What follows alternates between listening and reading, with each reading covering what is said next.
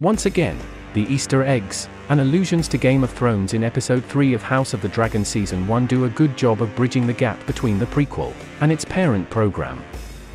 House of the Dragon, like Game of Thrones before it, spends a lot of time in the first few episodes positioning different characters and plot points across the chessboard that is Westeros. Nevertheless, House of the Dragon's chronology advances by two years, revealing the climactic days of Daemon Targaryen and Corlys Velaryon's battle for the Stepstones in a manner that wasn't there so early in Season 1 of Game of Thrones.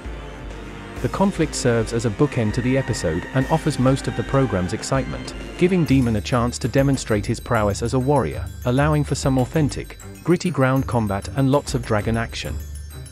There's some old-fashioned politics in the middle, despite the fact that King Viserys may simply want to have a few drinks and a laugh.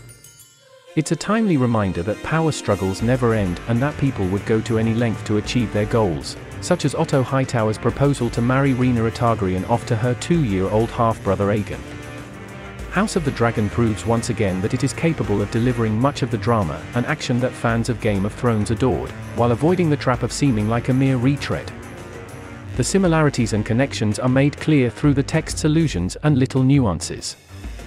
See all the references to Game of Thrones and other hidden gems in the third episode of House of the Dragon's first season.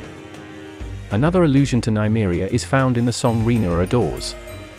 Rhaenyra is adamant that the song be played, and the words include, she escaped with her ship and her people. Beneath the dragon's sight.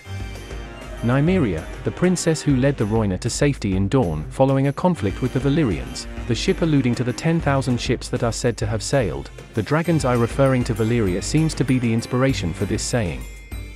It's interesting to note that this isn't the first time Nymeria has been referenced as an Easter egg in House of the Dragon. Rhaenyra and Alicent learned about her in the very first episode. House of the Dragon continues to lay the groundwork for the Game of Thrones spin-off, 10,000 Ships, which will focus on Nymeria and her adventure,